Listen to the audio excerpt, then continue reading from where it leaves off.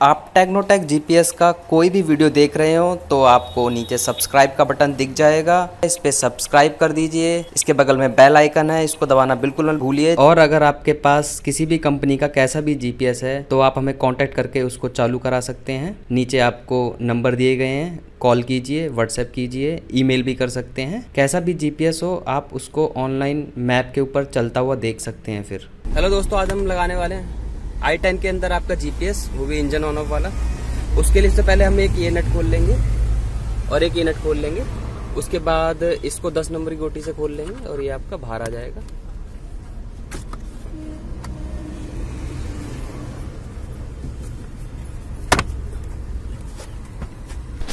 इसको इस तरीके से हल्का सा इस पे पावर लगाएँगे।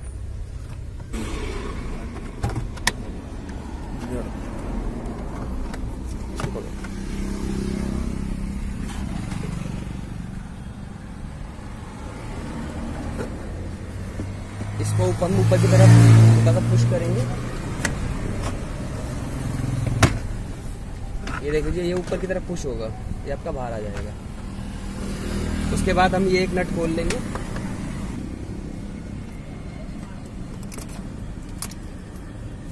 इसमें दो नट और हैं, ये और एक उस साइड है सेम इन दोनों को खोल लेंगे।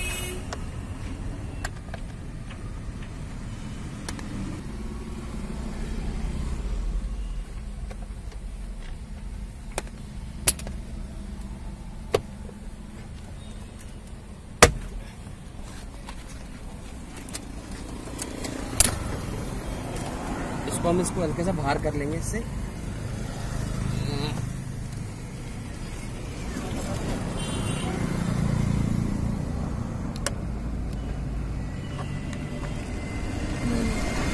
निकला है ना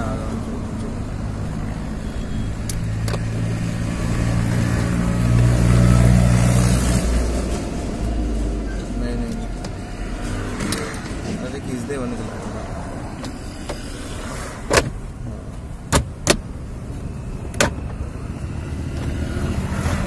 इसमें हल्की सी ताकत लगा, लगाएँगे क्योंकि लॉक होते हैं। टूटता कुछ भी नहीं है, देख लीजिए। सारे लॉक एकदम वैसे के वैसे ही है, टूटेगा कुछ भी नहीं। हल्की ताकत लगेगी। अगर आपकी नई गाड़ी है तो आपको थोड़ा डर भी लगेगा, लेकिन कोई दिक्कत नहीं है। थोड़ी सी ताकत लगाएँगे, खुल जाएगा। उसके बाद हम इसमें आपका, ये देख लेंगे। ये सारे मोटे मोटे वायर्स हैं नीचे। इन्हीं के अंदर सारे आपके कनेक्शन होते हैं। ठीक है? मैं आगे दिखा देता हूँ आपको। यहाँ पे चाबी लगती है, इसके पीछे ये तार आते हैं। ठीक है, ये तार हैं आपके। इसके अंदर ही जीपीएस के सारे कनेक्शन होंगे।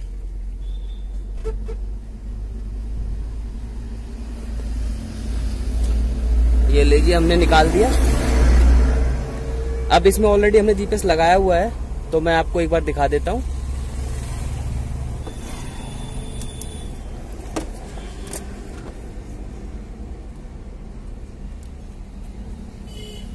ये आपका कपलर है? ये आपका रिले है।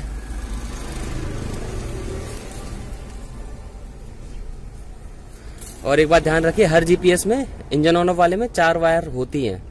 रेड ब्लैक और एक आपकी येलो जो आपका रिले के साथ डायरेक्ट कनेक्ट हो जाती है। ये देख लीजिए, ये आपका जीपीएस लगा है। मैं इसको भी निकाल लेता हूँ आपको दिखाने के लिए।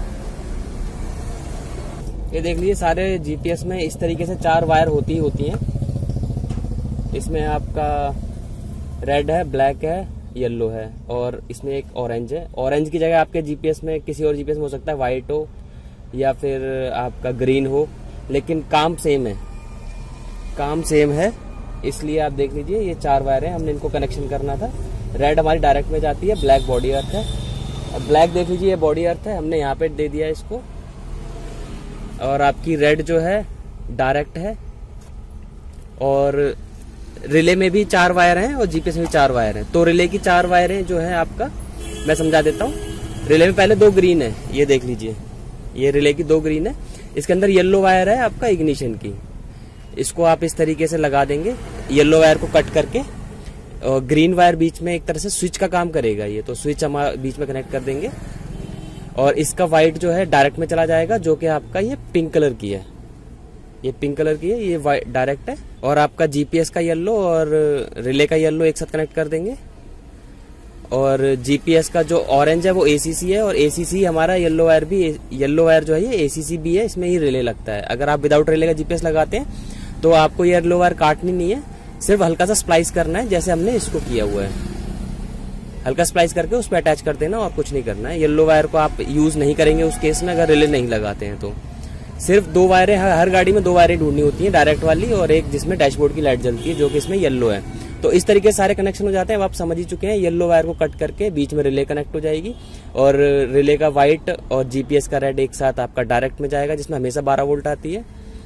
और जीपीएस का येलो और रिले का येलो आपस में कनेक्ट हो जाएँगे दोनों। और जीपीएस का ऑरेंज जो है रिले की ग्रीन के साथ चला जाएगा। इसको एसीसी बोलते हैं और ये येलो एसीसी है, यही कट होती है तो इसलिए इसमें हम आपका ऑरेंज वायर लगा देंगे। हमारे कनेक्शन कंप्लीट हो चुके हैं। अब इस कपलर को वापस लगा देंगे। अब हमारे कनेक्शन कंप्लीट हो चुके हैं। और फाइनली एक बार मैं आपको दोबारा बता देता हूँ। जीपीएस हम निकाल देते हैं। गाड़ी करते हैं चालू। एक तरीका है ये कनेक्शन चेक करने का। वो मैं बताता हूँ आपको। अगर इसका ब्लैक और येलो आपस में टच होने के बाद अगर गाड़ी बंद हो जाती है मतलब हमारे कनेक्शन ओके है प्रॉपर है एकदम। ये देख लीजिए लाइट जल रही है इसमें।